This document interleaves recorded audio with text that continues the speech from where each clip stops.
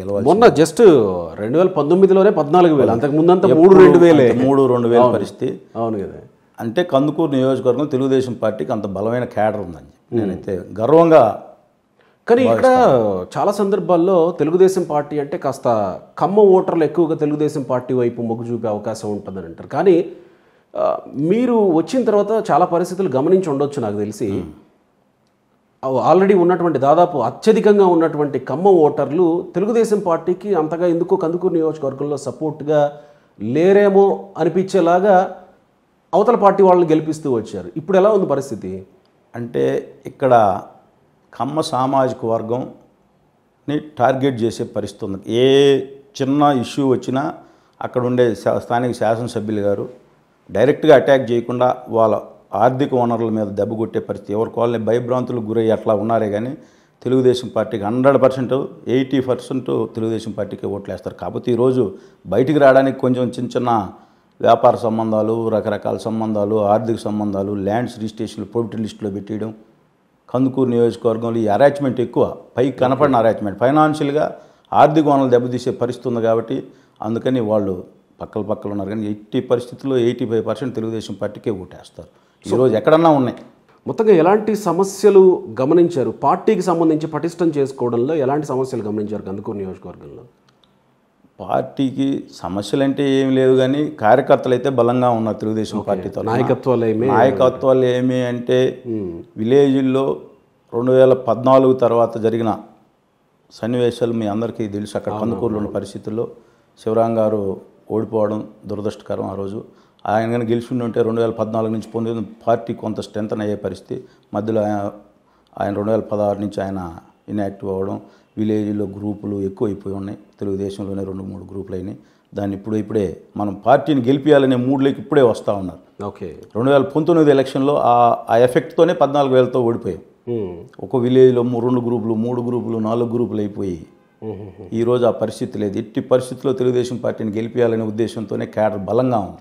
నాయకులు ఏదన్నా చిన్న చిన్న మనస్పర్ధలు పెట్టుకున్న క్యాడర్ మీరు సెట్టేట్ అవ్వాలని అని చెప్పే పరిస్థితి ఉంది ఈరోజు కందుకుని ఇక్కడ ఇంకొక చర్చ కూడా నియోజకవర్గంలో జరుగుతుందని మా దృష్టికి వచ్చిందంటే మేము ఆల్రెడీ సర్వే చేశాం కాబట్టి. ఇంటూరు నాగేశ్వరరావు రాజకీయ నేపథ్యం లేదు. తల్లిదండ్రులు కూడా ఏదో గ్రామ రాజకీయాలకే పరిమితమైనటువంటి వాళ్ళు. ఒక్కసారి వాళ్ళ వైఫ్ సర్పంచ్ తప్ప నాగేశ్వరరావు గారికి పెద్దగా రాజకీయ అనుభవం లేదు. కానీ టీడీపీ అధినాయకత్వం నాగేశ్వరరావుని గుర్తించింది. కారణం ఏంటి? అధినాయకత్వం గుర్తింపు అంటే నేను జిల్లాలో దామచర్ల ఫ్యామిలీతో నాకు మాకు సంబంధాలు ఉన్నాయి. టొబాకో బిజినెస్ నుంచి కూడా. సేమ్ టైం శివరాం గారు కూడా నాతో ఈ ఇరవై సంవత్సరాల జర్నీలో నా గురించి ఆయన అధినాయకత్వానికి చెప్పడం నాగేశ్వరరావు అయితే కొంచెం పద్ధతిగా పోతాడు. కొంచెం చెప్పింది వింటాడు. పార్టీకి ముందు ముందు రోజుల్లో లీడ్ తీసుకుంటాడు. అనే పార్టీకి కూడా నా మీద ఒక మంచి అభిప్రాయం క్రియేట్ చేశారు ఈ నాయకులు ఉన్న నాయకులు జిల్లాలో ఉన్న నాయకులందరూ కూడా. సేమ్ టైం ఆ రోజు రెండు వేల పద పదమూడులో మా మిస్సెస్ సర్పంచి ఆ రోజు సర్పంచ్ స్టేజీ నాది కాదు కానీ విలేజ్లో విలేజ్ తెలుగుదేశం పార్టీ కిల్ కాకూడదనే ఉద్దేశంతోనే సర్పంచ్గా ఉన్నాం. ఆ రోజు సర్పంచ్ స్థాయి కాదు నాది కానీ తెలుగుదేశం పార్టీ కోసం సర్పంచ్గా పోటీ చేయాల్సి వచ్చింది.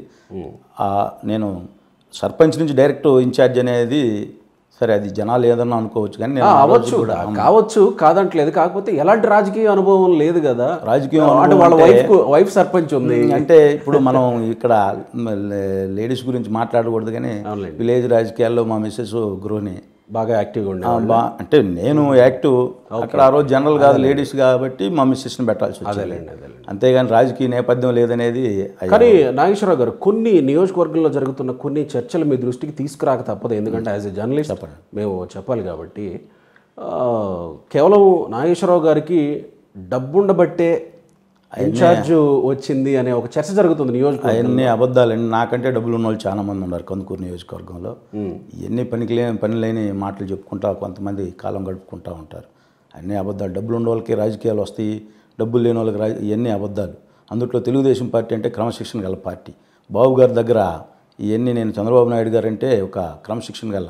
ఆ పార్టీ తెలుగుదేశం పార్టీ నన్ను నే- క్రమశిక్షణ చూసే ఇచ్చిందని అయితే నేనైతే బలంగా నమ్ముతాను మీకు ఇన్ఛార్జ్ పదవి రావడం వెనక చాలా వెనక చాలా పెద్ద తలకాయలే పనిచేసినాయట. వాళ్ళకేదో మీరు భారీ మొత్తంలో ముఠ చెప్పారని కూడా ఒక చర్చ నడుస్తుంది నియోజకవర్గంలో. అవన్నీ పచ్చి అబద్ధాలండి.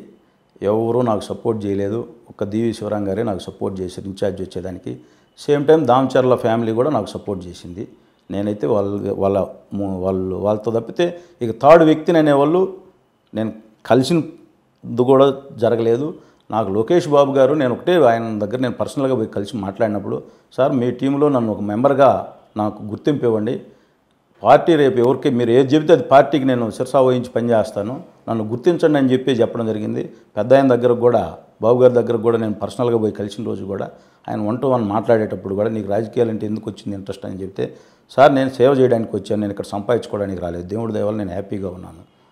నాకు ప్రయోజనం ఉంది ఇబ్బంది ఏం లేదు. నేను తెలుగుదేశం పార్టీలో పనిచేయడానికి వచ్చాను.